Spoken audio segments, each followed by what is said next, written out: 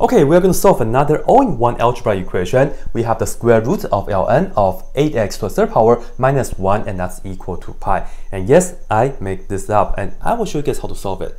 The key is we will have to know what inverse operation that we have to apply at each stage. So check this out. First, we will have to get rid of the square root and to do so, we can just square both sides. And that's pretty nice. They cancel.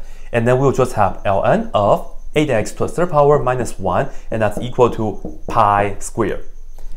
Next, to get rid of the ln, we have to remember this is log base e. So we'll just have to do e to this power and e to that power on both sides. So that way they cancel, and then we will have 8x to the third power minus 1 being equal to this to that power, which is pretty crazy, huh? e to the pi squared. Aha! Okay, I'm going to add a 1 on both sides, so we will get 8x to the third power equals, I'm going to add 1 right here and then plus e to the pi squared. What's next? We have to get rid of the 8. This is 8 times that, so we will have to divide it by 8. So we get x to the third power equals, divide this by 8. I will write it as 1 plus e to the pi squared over 8.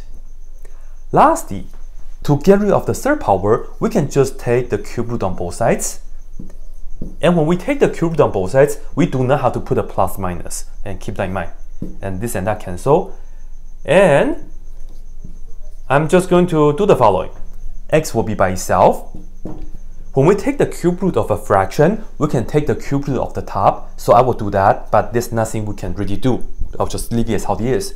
So we will have the cube root of 1 plus e to the pi square.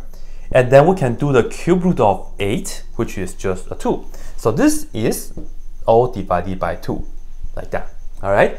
So yeah, this is a pretty crazy looking answer, but each and every step, it's actually pretty legitimate and it's pretty cool too.